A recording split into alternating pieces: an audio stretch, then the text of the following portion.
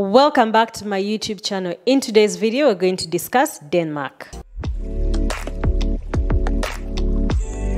Let's get straight into the nine fully funded scholarships in Denmark. We have the University of Southern Denmark, which offers the Danish government scholarship for students pursuing select engineering courses. This is a fully funded scholarship offered by the government of Denmark for international students. Benefits include tuition waiver, a grant to help with covering living costs, and the course applications close on 15th March and 15th October. No separate application is required, which means that as you apply to the university, you can as well as be considered for the scholarship. So make sure your application is top notch. Next is the Aarhus University that offers a limited number of Danish state scholarships financed by the Danish state. The scholarship is available to master's students. Scholarship coverage is determined by the faculty and can either be full tuition plus a grant to cover living costs or just full tuition. Deadline is 15th January and 15th September. If you like support while applying for any scholarship or university, feel free to reach out to me using the link in the bio where you can be able to book for a one-on-one session with me. Then we have the IT University of Copenhagen and it offers state university scholarships to three or four exceptionally talented MSc applicants from outside EU and EEA every year. The scholarships are awarded to excellent students and consist of free tuition and partly covering your living expenses. Applicants cannot apply for the scholarship, so you'll be considered um, when you apply to the university. So applications close on 1st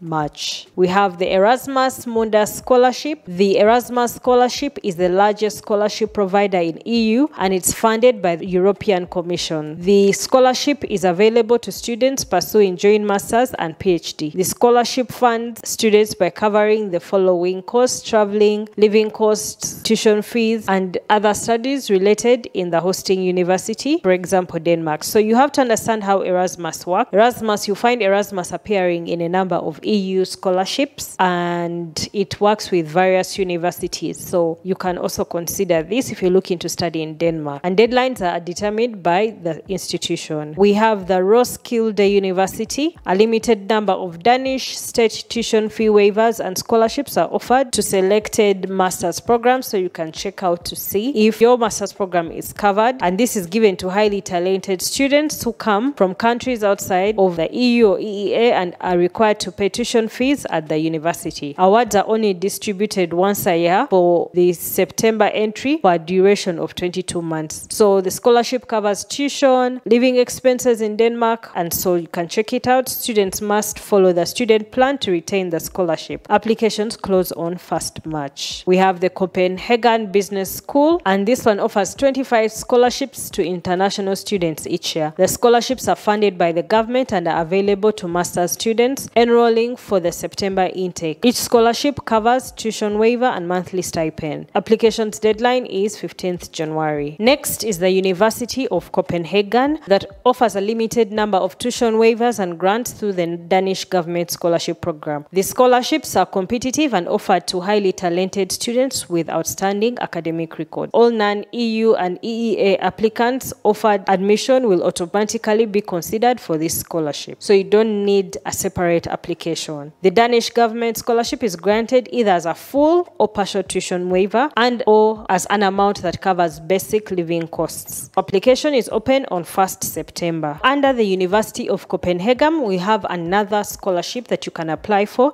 and that is the OFID Scholarship Award by the OPEC Fund for International Development and granted for students from developing countries who wish to pursue a master's degree in a development-related field at an internationally recognized university. The scholarship covers tuition fees and a monthly allowance. Next is the Aalborg University that offers the international student student scholarship available to master's students joining for the September intake. It covers full tuition waiver, monthly stipend, and deadline is 1st March. And that's it for today. Remember, it might be hard, but not impossible. See you next week where we'll be discussing another country.